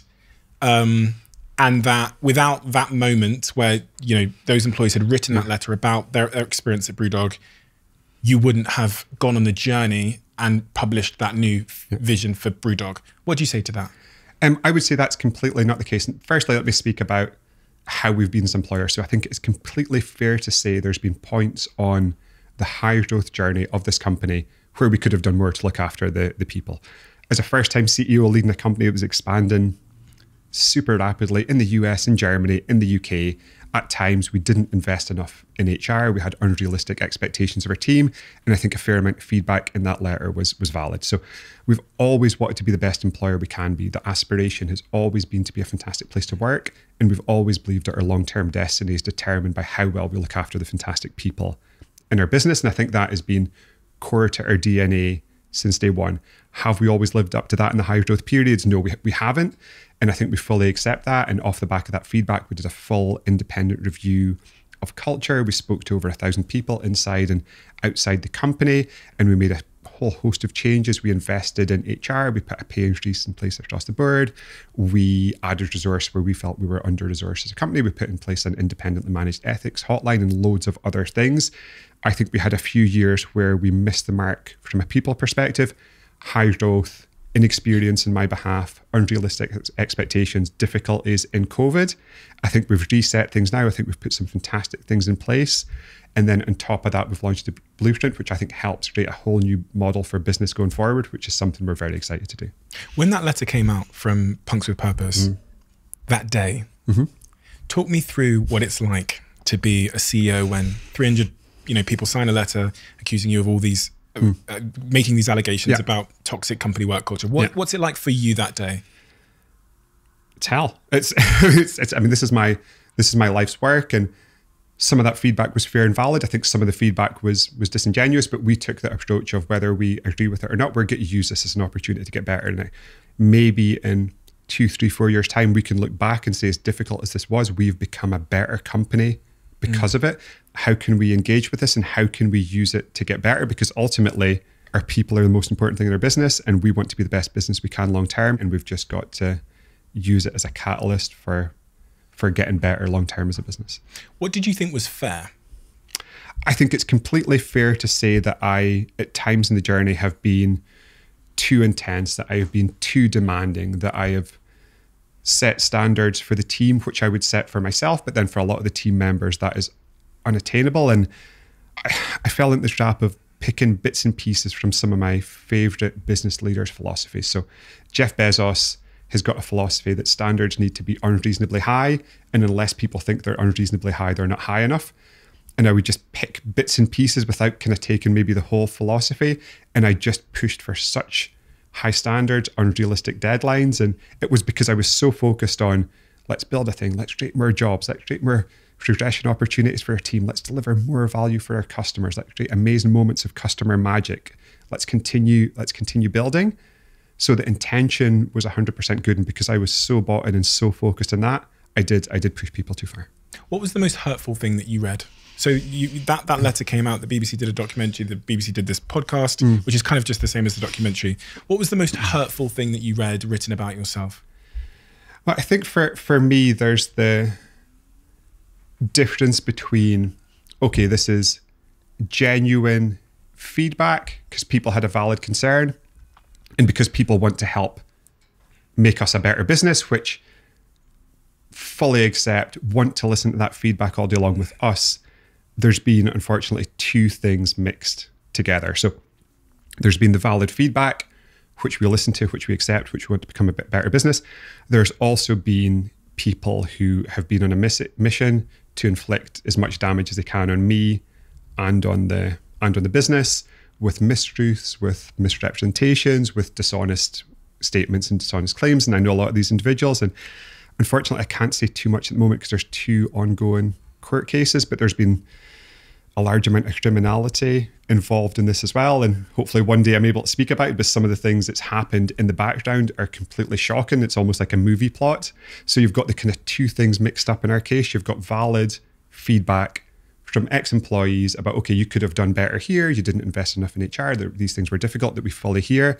And the other side, you've got people taking advantage of that moment just to try and inflict damage in me and the company for for whatever reason. We've always had haters as a business as well, perhaps more than any other business. And I always felt to have people hate you, you need to be successful doing something that you love. And I think there's a big difference here. And you spend some time in the US between how US people relate to successful business people and how UK people relate to successful business people. And I think in the US, it's they cheer you on from the sidelines, they support you because they their mindset is they think that can be them someday. Mm-hmm. Whereas in the UK, I think it's maybe a bit more jealous of success and they don't think it's going to be them. So therefore they're they're jealous in success, which I think is a, is a bit to play there as well. So yes, some of the elements of feedback that I felt wasn't coming from a genuine place were some of the kind of hardest to hear. Whereas the other bits of feedback that was fair and genuine, I was there for all day long. But the disingenuine bits of feedback were were tough because they just all get reported the same way in the media. Fair and fair and genuine feedback. Then, so you one of the things that you actually do at your company, and you you were doing during this growth period, yeah. is doing the the old net promoter score thing. One of yeah. the things the BBC reported on. Yeah. In your head office, the yeah. the score for when people asked were asked the question, how likely are you to recommend Brewdog as a good place to work, was minus fifty four percent, and then company wide the score was minus eighteen percent. Yes. How does one when you because that's just a number. Yes how does one go about getting to getting the context of that number and then improving it the number because if i got that number i i wouldn't know where to bloody start yeah well, I mean, I, I would start with surveys, but it's a difficult thing to change, right? Because that's a it's an awful number, you know. Yeah, and I don't think you can change it based on a number. And I think the mistake that we maybe made in the past was when we knew we had an issue with our culture, we tried to fix those issues in a vacuum. So it would be me and a couple of our senior leaders, and okay, we know we've got this issue here. We want to make it better for our people. Let's do this, this, and this. But we create that in a vacuum and we didn't speak to the people. So we did so many well intentioned things that we thought was really going to help us as an employer that just didn't help. So one of the biggest learnings on, on that part of the journey for me, and it, it's really kind of came to fruition with the blueprint, is if we're trying to do something that's good for our people, let's build it with our people. Let's not build it in isolation. Let's not make it in a vacuum. So, the blueprint, for instance, before we launched it, I did focus groups extensively with cross sections of the company in America junior people, senior people, middle managers. I did the same for our retail business, for our production business. I did face to face workshops on it. It's like, here's what we're thinking about doing in terms of making things better for you guys what do you think? This is going to impact you on a day to day basis. How do you think this is going to go down the team? But ultimately, how can we make this better? And in the past, the blueprint, I would have just launched it in a vacuum with good intention. We made so many changes to how it works based on the feedback from our team. So we ultimately ended up launching something that was far more impactful, that was far better for our team because we built it in a fundamentally different way than we would have built it before, which is just in isolation. And I think that's the first example of us doing that and me doing that as a leader, which I think is a really important evolution of my leadership style within the business. The the other thing you've done, which I, I implore all companies to do, is part, as part of your Brew, Brewdog blueprint. When I went mm. on the website, I saw that you've got that transparency dashboard. Yes. This is very important Yeah. in the modern world because this puts the the power of truth in, into your hands in terms of reality. So what you've done is you've published on your website things like your employee sort of uh, satisfaction score. Um, things relating to your carbon emissions and all these Yeah. things so that the world can now see what your own team think of being a Brewdog employee. Because what that also does for the team is it builds trust. It, it it does, and I think it's such an important part of our philosophy. And it just got to a point where there were so many misrepresentations that was like, okay, let's just give them the facts in their purest, most undiluted form, and then people can make up their own mind. So if you look at this transparency dashboard at the moment, the latest score that we've got from people within our business is 3.49 out of five as an employer. Now, do we want to be 3.49 out of five as an employer? No. Is that significantly better than most people outside the company would have you think? Yes. But what we've committed to doing is every 12 months, we're going to do the same survey in the same way and we're going to update people. So we're going to do that at the end of this year and we are going to share those results so people can see, okay, you've done some things. Are you now better or worse than a 3.49? in an anonymous survey from your people. And that's a level of transparency we've committed to here. And I think that commitment to transparency isn't something new in our business. In 2014, uh, we launched something called DIY Dog. So with DIY Dog, and we gave away the beer recipe in full for every single beer we'd ever made. So at the time, it was 250 recipes. So it was the keys to our kingdom. It was everything that most companies usually kind of keep away, kind of in some secret vault somewhere and like loath to share with anyone. But that transparency has been kind of hardwired into our DNA for a long time. in this transparency dashboard, specifically focusing on culture, people, headcount, employer score, is a key evolution of that. And obviously, if, if you're asking, if you're doing surveys of your team, Yeah. uh, people are always going to fear reprisal, which is if I write something bad on this, am I going to get fired or something? Is it anonymous? It's 100% anonymous and it's managed by an independent third party. Oh, good. Which lets us get the purest, most undiluted, fair, objective feedback we can. One of so one of the I'm reading through the the BBC reports and I'm looking through I'm li- listening to the podcast. I like to do my research, so I watched Mm. Yeah. the documentary. Yeah. I listened to all six uh, six and a half parts of the, the podcast.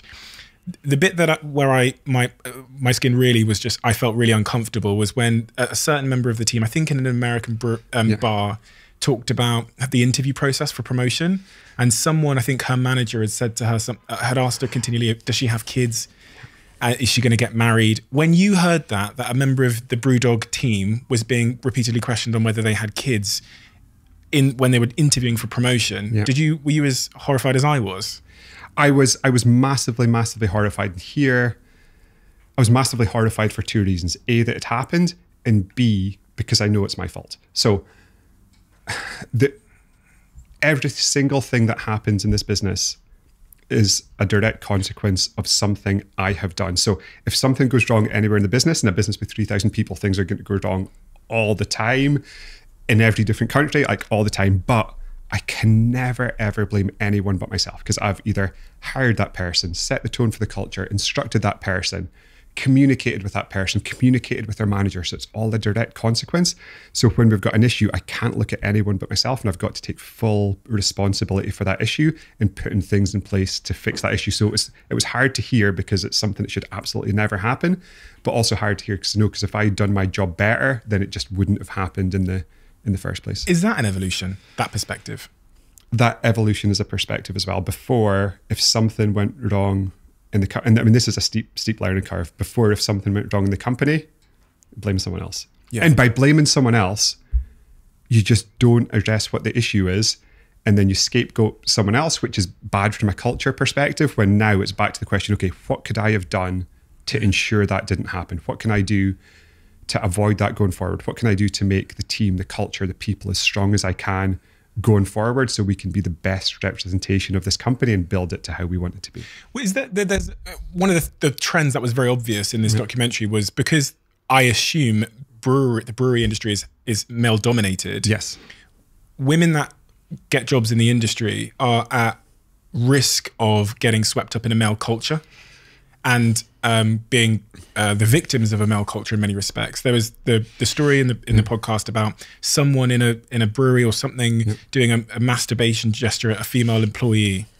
This goes back to a, a masculine culture issue, kind of the kind of culture you would expect in a football locker room, but wouldn't ever.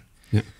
Is this the the systemic sort of uprooting that you've had to to think about? Because three thousand people around the world, you you have to protect all of them. I do. You have to protect all of them from each other. Yeah. That's not. yeah. How, how does one go about that? Is that a culture philosophy thing? How do you stop? And how do you when someone re- goes to report something like that Yeah. that horrific incident? What what? So again, we've put in place loads of things. So now we've got an independent ethics hotline, which is independently managed. So there's so many ways now for people people to report something they're concerned with. They can speak to their line manager, they can speak to the HR department, or if they want to do it completely anonymously, we've got this independently managed hotline. They can call that hotline. That hotline that then gives the feedback to our directors, to our HR department, but it's completely anonymized. So they don't know who that feedback is coming from. And for us, like we want to build the most diverse, most inclusive business that we can. I think it's fundamentally important that we are as diverse and inclusive as our customer base is as well. We've now got a diversity and inclusion forum within the business with people from all over the business where they discuss things. Okay, we can get better at this, we can get mm. better at that. So it's putting more things in place where we listen to a huge cross section of our team. And whereas before we've been, okay, we're building a thing and the team are helping us build a thing. It's okay, let's build a thing together with our team because the person who is on the front lines in our bar in Columbus, Ohio, or our bar in central London, or our bar in Edinburgh, or the person who's working in the warehouse in Glasgow or in the brewery in Australia, their perspective on things is so important. And I think a trap that I fell into was okay, this is our culture because this is what I say it is. You can't say what a culture is. The culture is how the people in your team feel and then how they act. And you only build that together. So for me, it's been another key key learning. Let's build the culture together with our team, and that's going to give us the strongest culture that we can. Has the culture always been amazing in the past? No, hands up, it hasn't. Can we make a fantastic culture together in the future with our team? I fully believe we can, and we're very much focused on that. You've got two young daughters. I do. So when you hear about, you know, when you hear these incidents that, that have come from women saying that Yeah. they've experienced someone being misogynistic to them, that must hit closer to home than most. It, abs- it absolutely does. So I'm super lucky to have two amazing daughters. They're uh, eight, eight and five. Oh wow. Yeah. Um, the, the eldest one is uh, sometimes makes beer with me at home in the kitchen on a, a Saturday afternoon, which is uh, At five, does she drink it? uh, no, she doesn't drink it. She smells it and she picks out the hops and she picks out the malt and then she designs a label and she gives it to.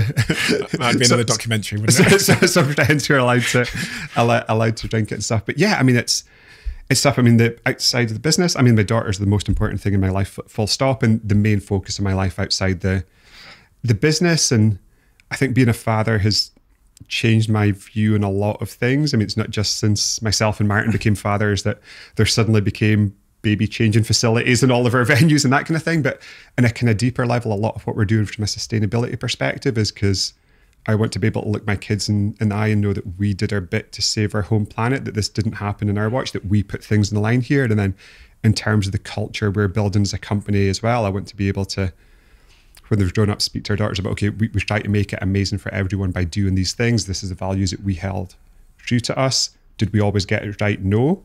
Was the intention always there to do that? Absolutely. And this is where we got to in that journey. One of the things you you, you said, you know, I, I fucked up on this particular point was Mm. investing in Heineken.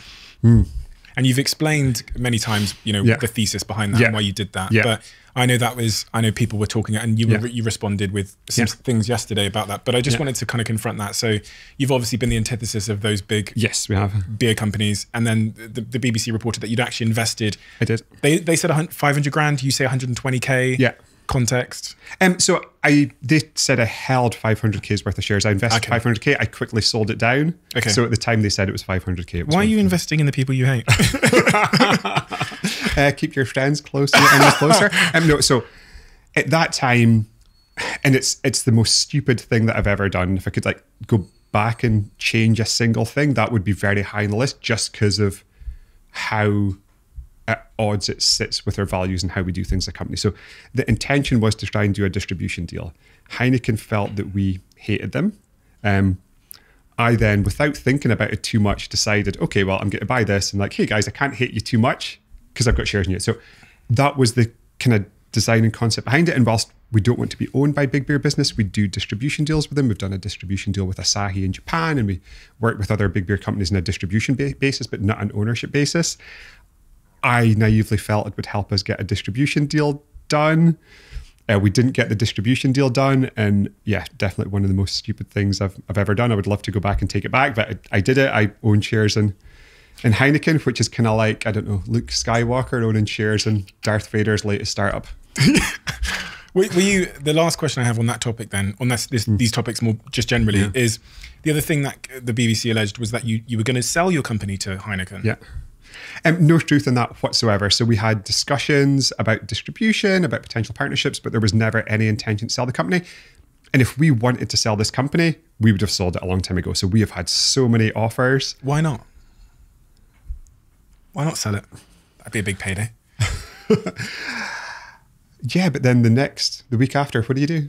How am I going to spend my time? What am I passionate about? Let's start another beer business and then build it. Let's start another company and build it. So, like, if we had wanted to sell, we could have sold this thing at a huge valuation, a hundred times over. I could be sitting in a yacht somewhere sipping margaritas and never have to worry about anything ever again.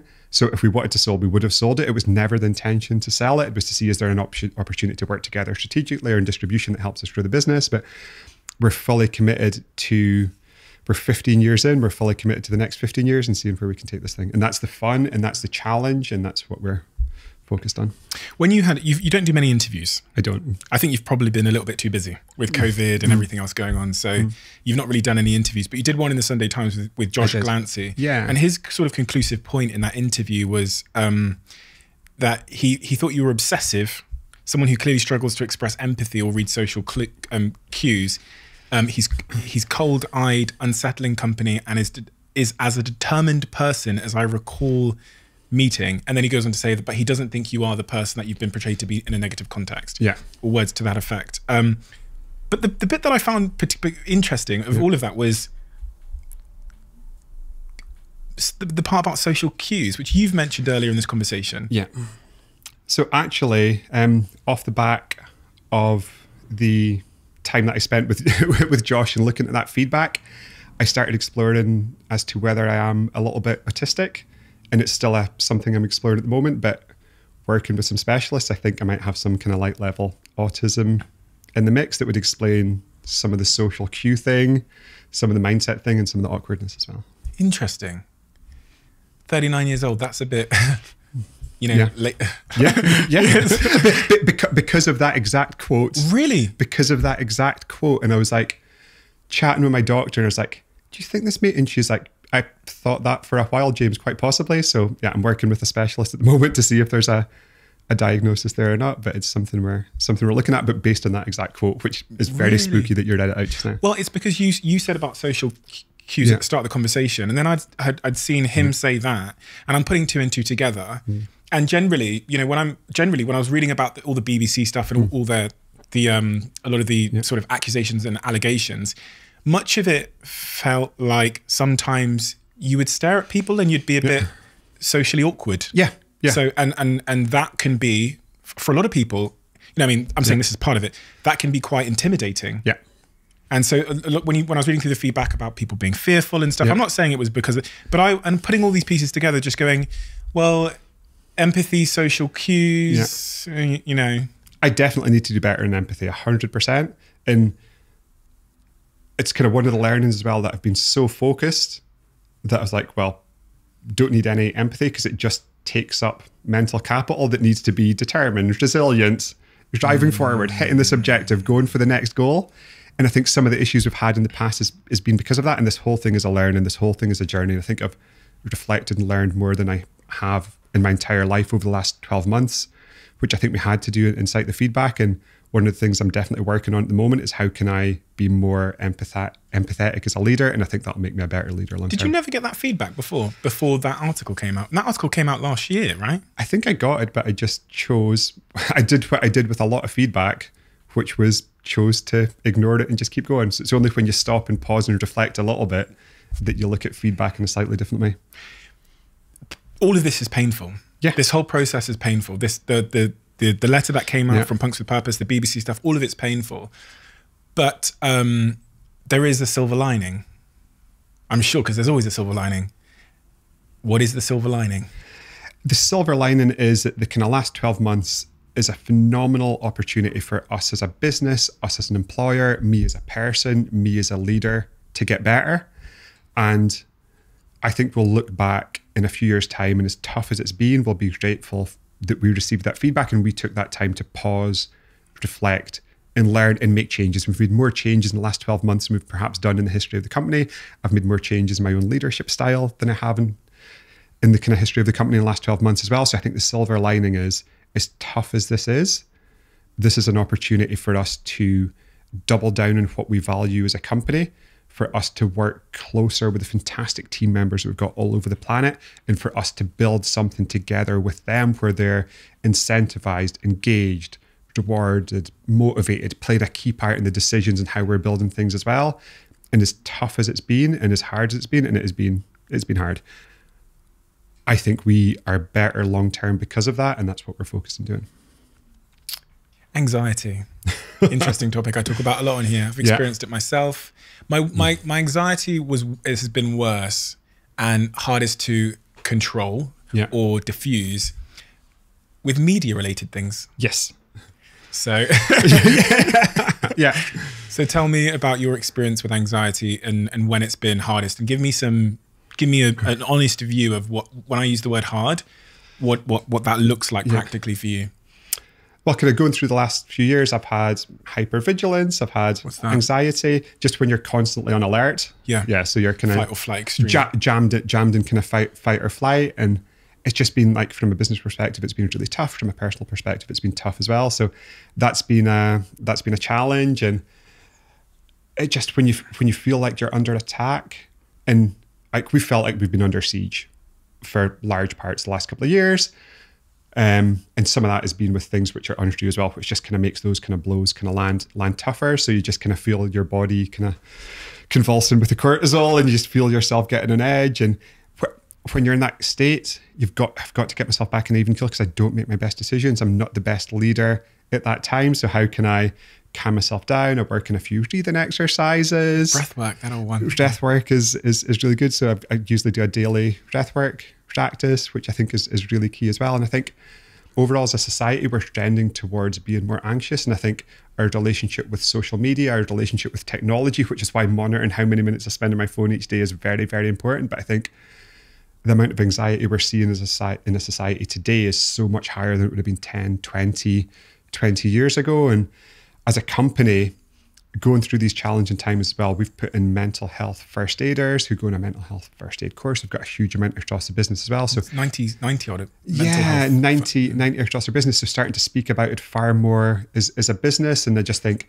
with lockdown, with COVID, with everything, like the impact on people's mental health. And I'm glad people are talking about it more. It is a challenge. And I think the more people talk about it, there's less of a stigma. And there's kind of more openness about, okay, these things help with, with the mental health side of things. Did you used to think, like I did, that CEOs weren't meant to talk about it?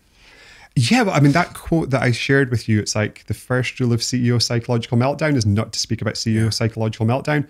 Don't let people know it's tough. Don't let people know it's difficult. Suck it up, buttercup, and just get on with it, which works for a certain amount of time.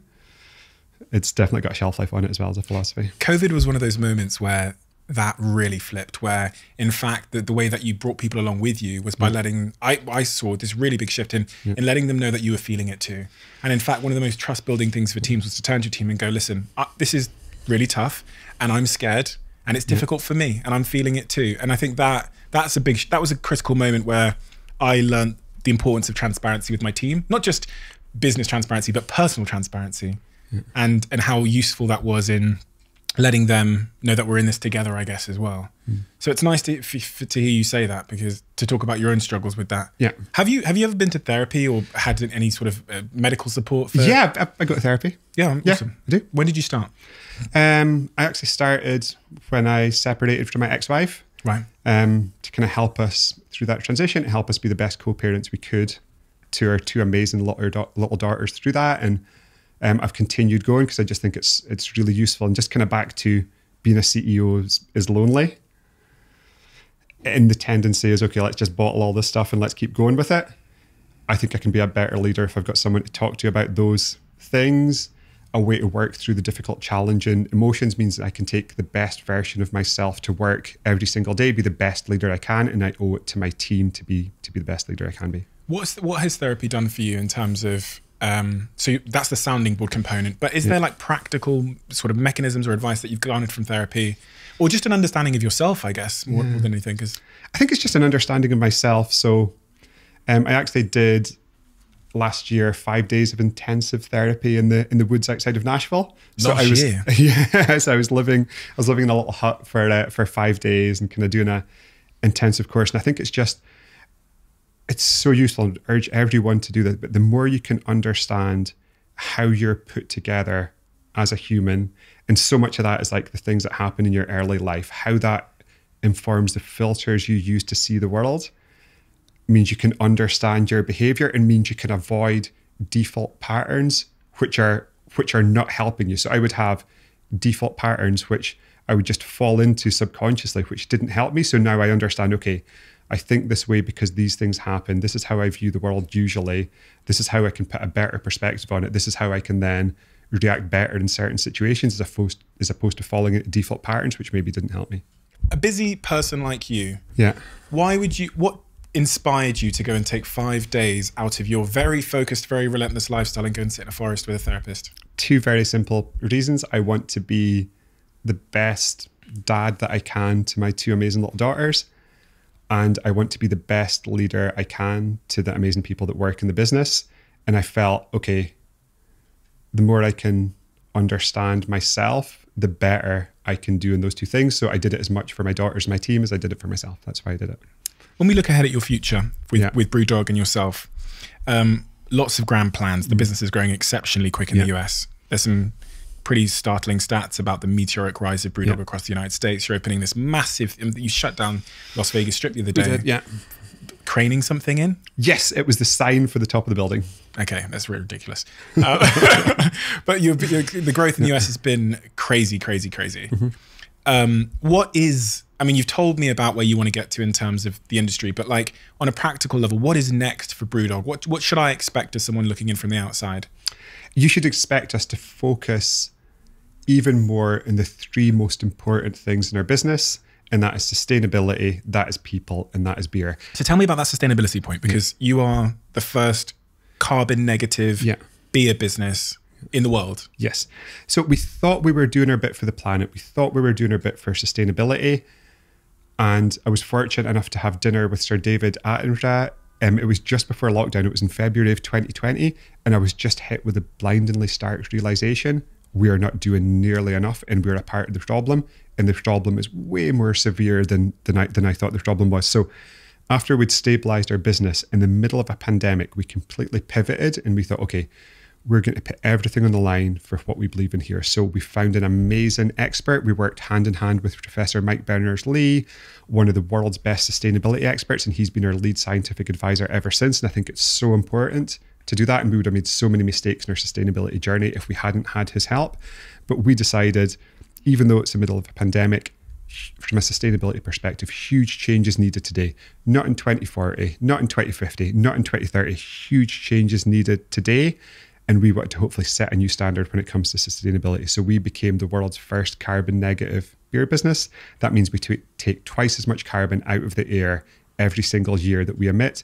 That includes all the carbon in our supply chain. We publish a report every six months. It's fully transparent. This is the carbon footprint of our business. This is how it's broken down. And this is how we've then helped take that carbon out of the air. We've made huge investments across our business in becoming more sustainable. We recently invested 12 million in a bioenergy facility that came online last week in Ellon. And this is amazing. So it takes our wastewater and it turns our wastewater into water we can use again and biomethane, green gas that we can use to power our system. So our system is now fully powered by green gas that comes from our waste, also reduces our water usage. And then we're also able to use that green gas to use in vehicles which transport our beer as well, which we're moving into. So huge investments to reduce our footprint. But we also wanted to take ownership of the problem ourselves. So our carbon is our problem. Let's do something ourselves. So we bought nine and a half thousand acres in the Scottish Highlands, a huge chunk of land where we are creating the lost forest. So we're planting millions of trees to create this beautiful native broadleaf woodland and habitat, rewild a huge part of Scotland, restore peatlands that's going to help take carbon out of the air.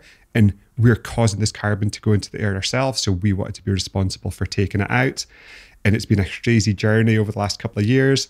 We've changed everything about our business. We've put our money where our heart is in this one. It's a huge gamble, but we fully believe that the only way we're going to get out of the climate crisis we're in at the moment is businesses. So we think governments and politicians are incapable of making the change that needs to be made because the timescales they work on is just too long for the pain that we need to take short term. So to get us out of the climate crisis, I think it's the best businesses working hand in hand with scientists to put things in place. And I think when it comes to members of the public as well, they can almost have more of an impact when it comes to sustainability with how they spend their money than how they vote. So it's making sure that our community are engaged and excited and come on the sustainability journey with us. But the three pillars of our business for today and going forward sustainability, looking after people the best we can, and making the best beers that we can. One of the, the, the allegations obviously was about the lost forest in the BBC report. Yeah. It took some time. Hmm. It, it was. Yeah. They said that it would. It was taking too long, essentially. To it was it was publicised, but then a couple of years later, it hadn't been built yet. So just to give you a chance to respond to that. Yeah, and I think that's typical of how disingenuous some of the BBC's claims were. The only, the single reason we hadn't started planting trees is we hadn't received the consent that we needed to start planting trees. So we had to do environmental studies, we had to apply for permission to the Scottish Forestry Commission. We were given that planning consent last week. We're starting planting in August. Exciting. You've built a tremendous, um, trem- tremendous business in terms of scale and product, and your customers love what you do. And you've built that cult Yeah. i- in your customer base. One of the pieces of advice you gave, I believe it was in your book, which I thought was really underrated, was about finance.